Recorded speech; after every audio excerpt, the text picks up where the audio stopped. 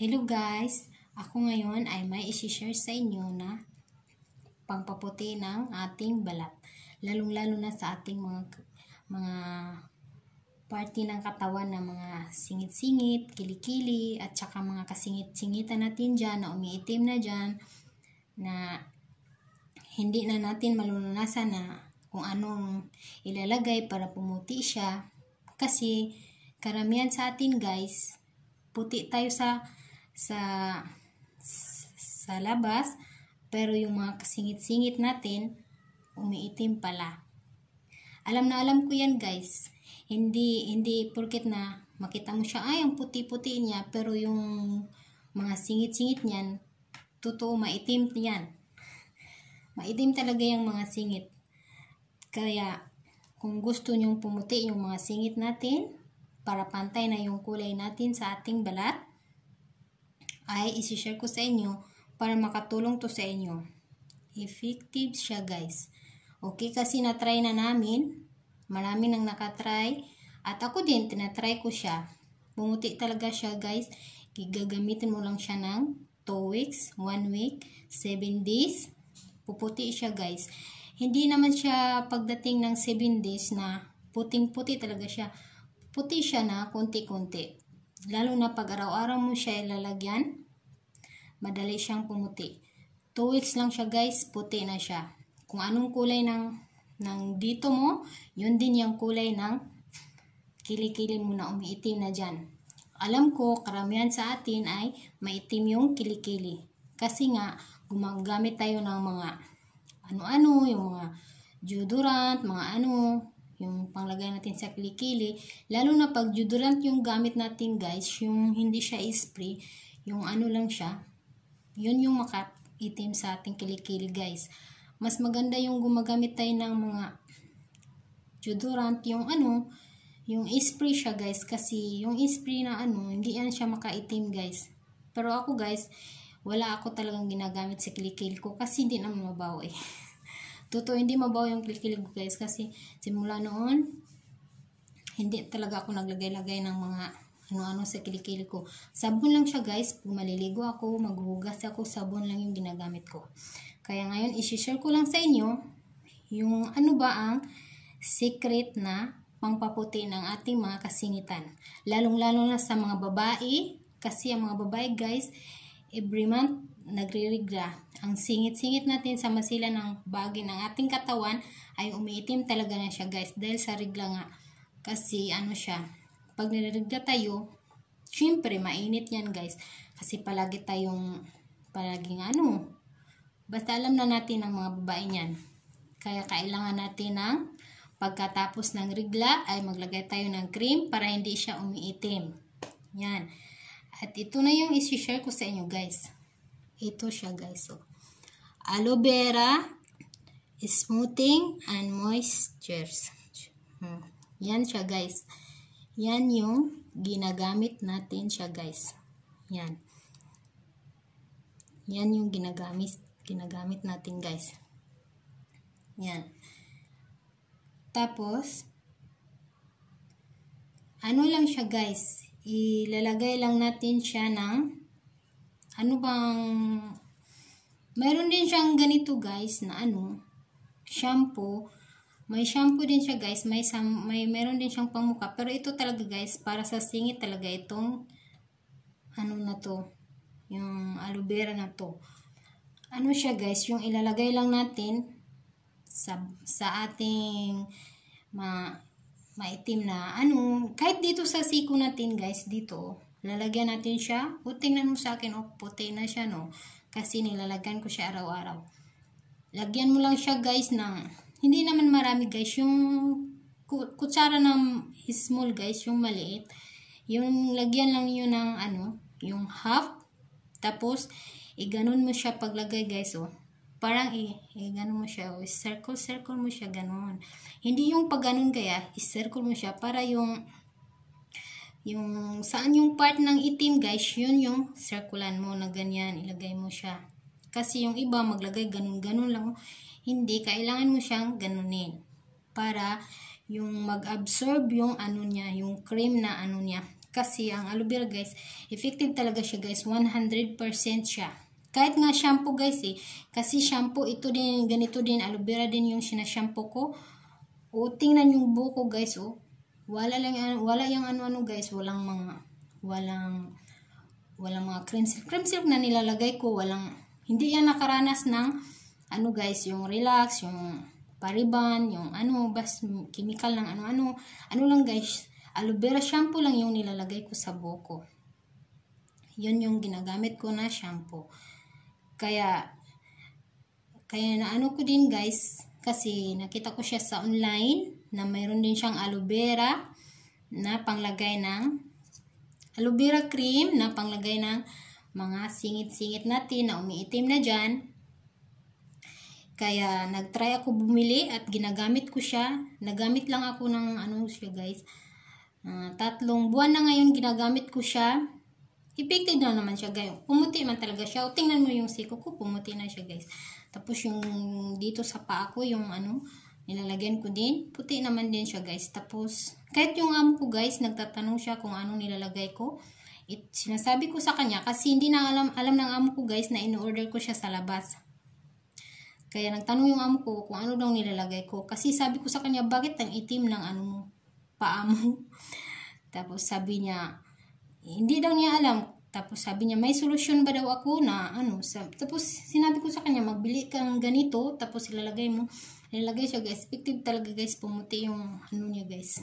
Kaya kung kayo guys, mag-try na din kayo. Mahirap to siya hanapin guys. Iwan ko sa Pinas kung mayroong ganito. Pero try nyo magpunta sa supermarket, yung malaki, malaking supermarket sa Pilipinas. Try nyo maghanap pero kung wala kayong mahanap guys, makikita mo siya sa mga online. Especially guys, mayroon siyang company nito na ano, na company sa Pilipinas. Yung ina-applyan ko nga na company guys, kasi nagsisiling din ako eh. Ano siya guys? Company, aloe vera company, and aloe vera company and supporting company for for beauty product. Yun yung company na inaano guys. Ano yan siya guys? I-search nyo lang guys yung company na yun. Makikita nyo doon. Meron siyang mga brands doon sa Manila. Marami din siyang brands guys. Meron siyang brands nga dito sa Kuwait eh. Nationwide naman siya guys. Pero sa Saudi, wala siyang brands. Wala silang brands doon guys. Kasi maano sa Saudi. Maigpit yung Saudi guys eh. Kaya yun kung wala kung hindi niyo siya mahanap pwede niyo naman akong i-add sa FB account ko guys na lovers magmahal. Kasi nag-online ako tingnan niyo lang doon yung mga mga posting ko. Tapos pwede niyo akong i-PM na mag-order ng ganito. Ano lang guys kung marami yung orderin niyo free shipping ko kayo. Pero pag isa lang yung orderin niyo guys babayad kayo ng shipping fee. Pero pag first time yung mag-order sa akin guys eh eh, pre-shipping ko kayo. Ako na magbabayad sa pre-shipping para lang maka-order. Tapos, susunod na mag-order kayo, dito kayo order sa akin.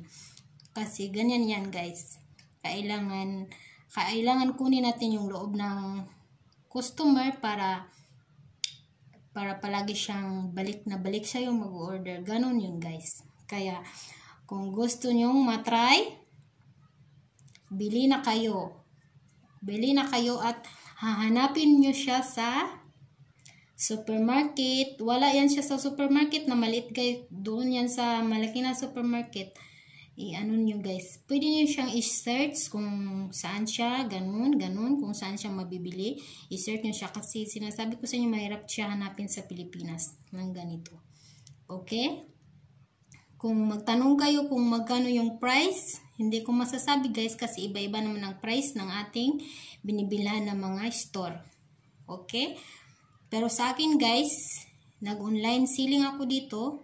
Binibenta ko siya dito sa Kuwait ng 5 dinar. 5 dinar in Philippines, it's 350 350 pesos siya guys.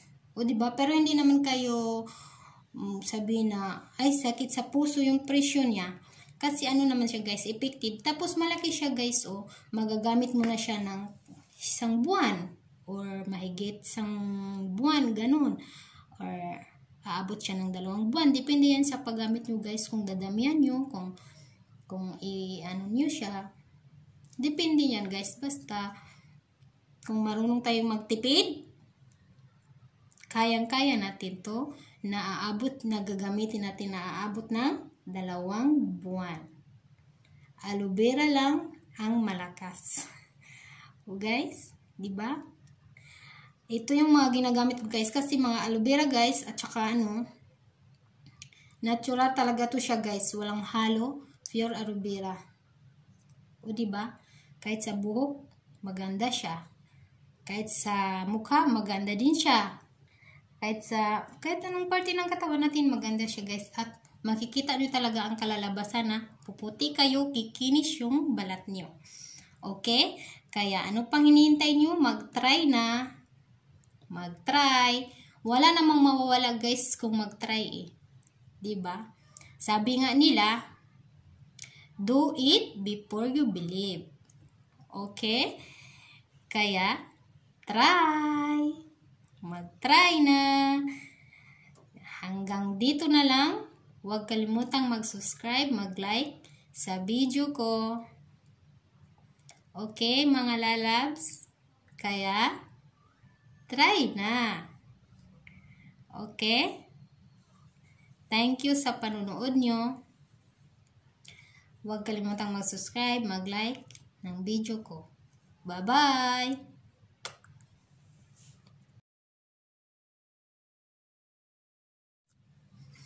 Hello guys! Ako ngayon ay may isi-share sa inyo na pangpaputi ng ating balat. Lalong-lalo na sa ating mga mga party ng katawan na mga singit-singit, kilikili, at saka mga kasingit-singitan natin dyan na umiitim na dyan na hindi na natin malunasan na kung anong ilalagay para pumuti siya. Kasi karamihan sa atin guys, puti tayo sa sa sa labas pero yung mga kasingit-singit natin umiitim pala. Alam na alam ko yan guys. Hindi hindi porket na makita mo siya ay ang puti-puti niya pero yung mga singit-singit niyan totoo maitim yan. Maitim talaga yung mga singit.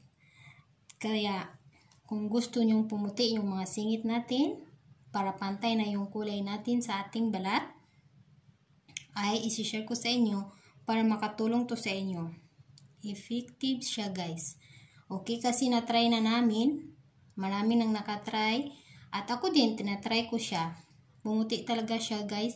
Gagamitin mo lang siya ng 2 weeks, 1 week, 7 days. Puputi siya guys. Hindi naman siya pagdating ng 7 days na puting-puti talaga siya. Puti siya na konti-konti.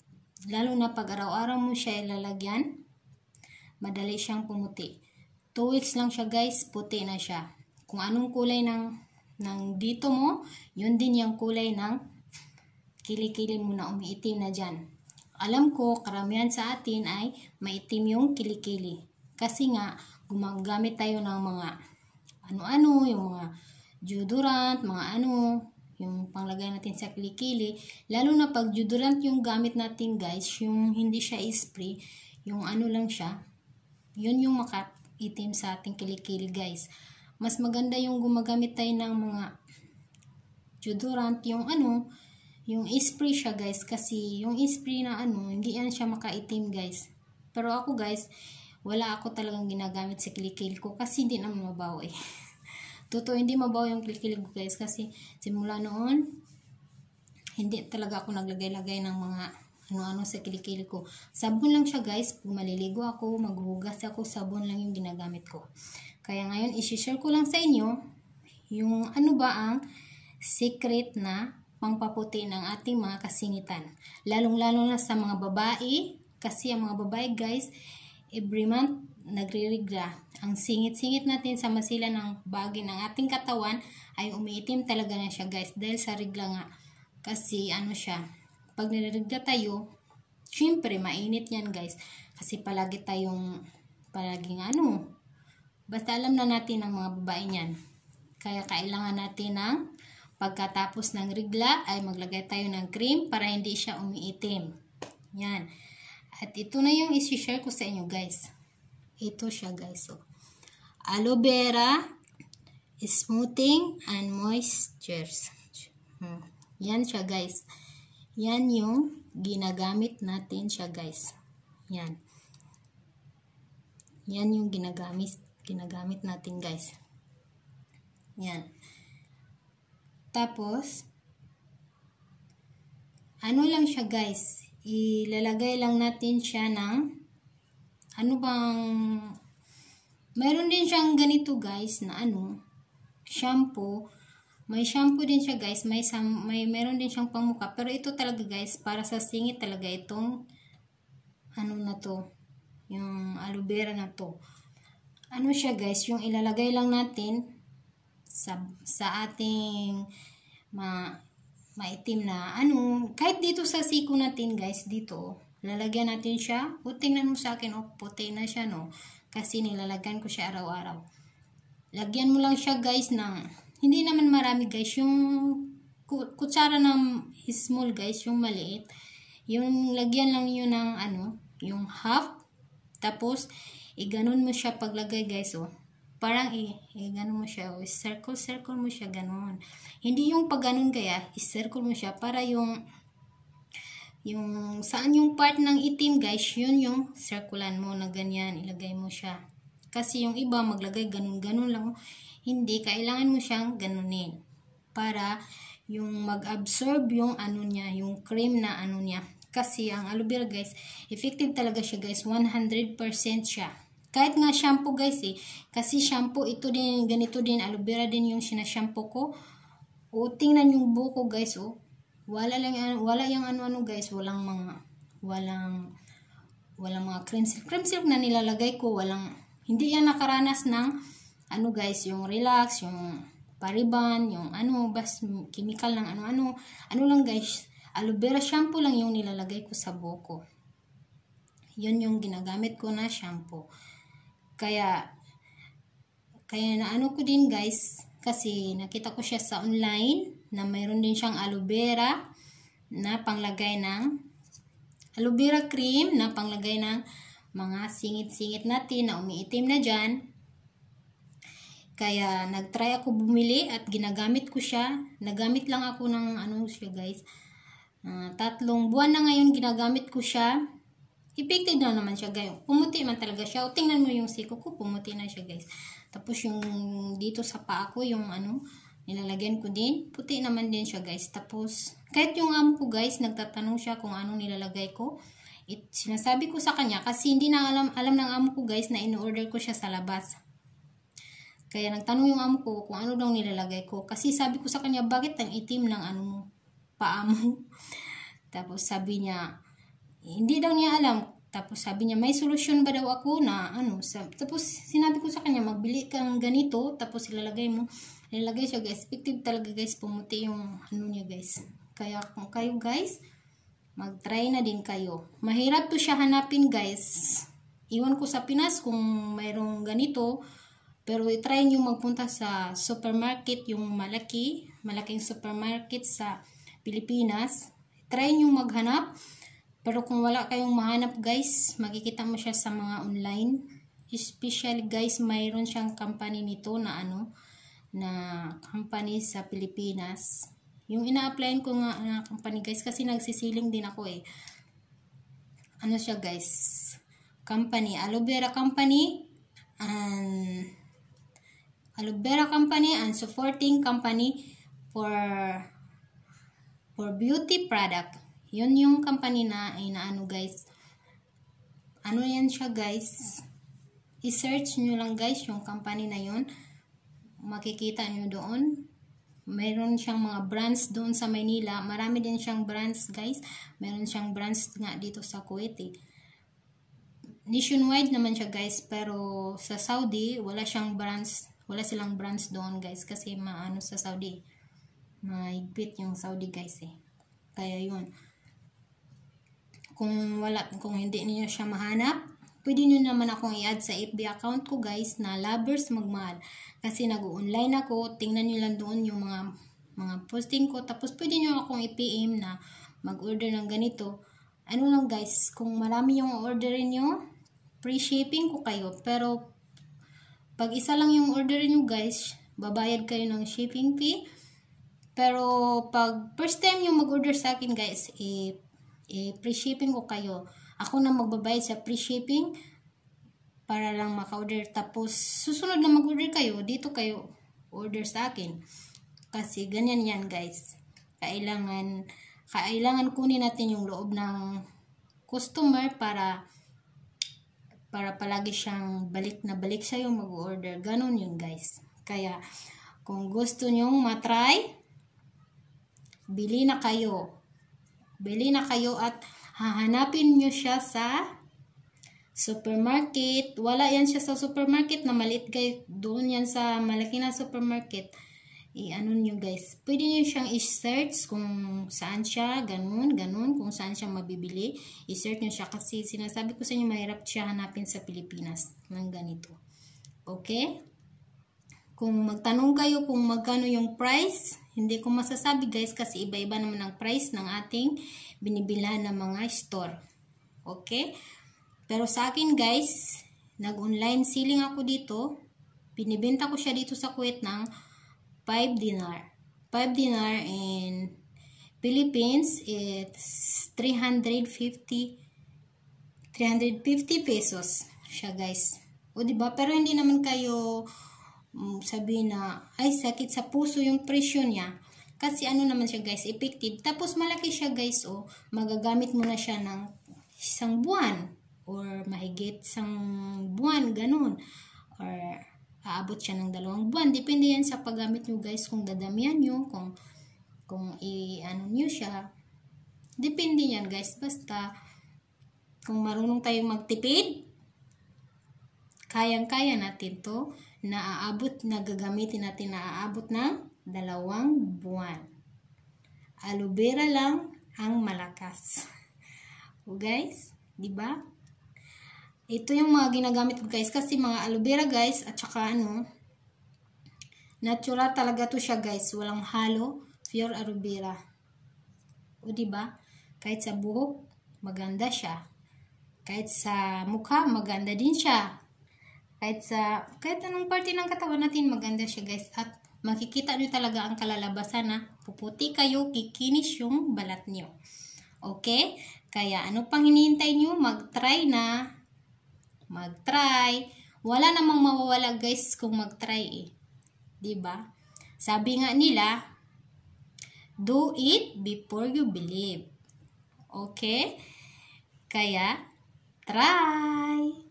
mag-try na. Hanggang dito na lang. Huwag kalimutang mag-subscribe, mag-like sa video ko. Okay, mga lalabs? Kaya, try na. Okay? Thank you sa panunood nyo. Huwag kalimutang mag-subscribe, mag-like ng video ko. Bye-bye!